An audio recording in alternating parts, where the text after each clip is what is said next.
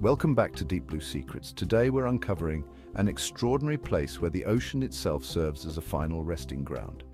Is this a mythical underwater city, or is there something deeper?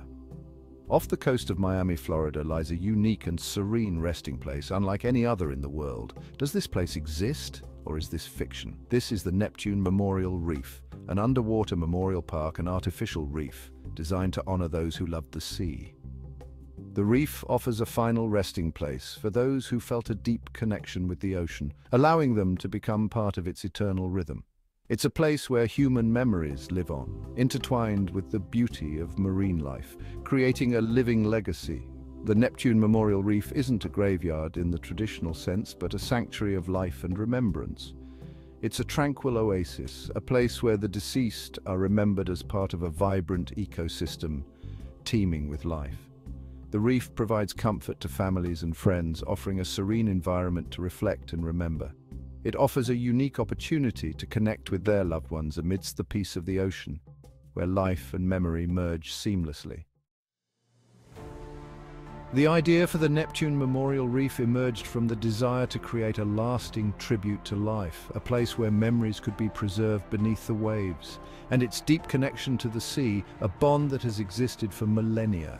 The project was initiated in 2007, marking the beginning of an ambitious endeavor. It aimed to build an underwater city, a place of artistry and remembrance where the past and present could coexist harmoniously. The initial vision was inspired by the legendary city of Atlantis. Designers planned grand archways, stately columns and pathways, reminiscent of ancient civilizations, creating a majestic underwater landscape. This underwater metropolis was designed to be far more than a cemetery. It was a place of reflection and beauty. It was envisioned as a living reef, a place where marine life could thrive alongside human remembrance, fostering a unique ecosystem. The Neptune Memorial Reef offers a unique way to memorialize loved ones. Cremated remains are carefully mixed with environmentally friendly concrete. This mixture is then used to create personalized memorials. Families can choose from a variety of designs. Some opt for plaques adorned with names and dates. Others choose sculptures that reflect the passions of those who have passed. These memorials become an integral part of the reef structure. They provide a foundation for marine life to flourish. Over time, the Neptune Memorial Reef has transformed into a thriving marine habitat, a living testament to nature's incredible adaptability. What began as simple concrete structures is now teeming with life, a vibrant underwater world. Coral polyps have attached themselves to the surfaces, slowly building a new ecosystem. They grow outwards, creating intricate formations that are both beautiful and essential for marine life. Sponges, with their vibrant colors and unique textures, add to the reef's beauty, making it a visual spectacle. Schools of fish dart through the arches and columns, bringing movement and life to the underwater landscape. Sea turtles glide gracefully through the water, seeking food and shelter among the reef's structures. The reef's transformation is a testament to the ocean's resilience and its ability to adapt and thrive.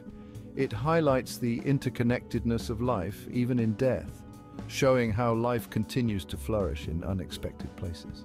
The Neptune Memorial Reef stands as a testament to human ingenuity and compassion. It's a place where families can find solace and remember their loved ones. It's a place where divers can witness the beauty of the ocean and the cycle of life. But is it real? The Neptune Memorial Reef exists. It's a testament to the power of human connection with the ocean. It reminds us that even in death, life finds a way. Thanks for exploring the wonders of the Neptune Memorial Reef with us. Don't forget to subscribe, like, and please leave a comment for more deep sea stories. Until next time, keep your compass true and your curiosity alive.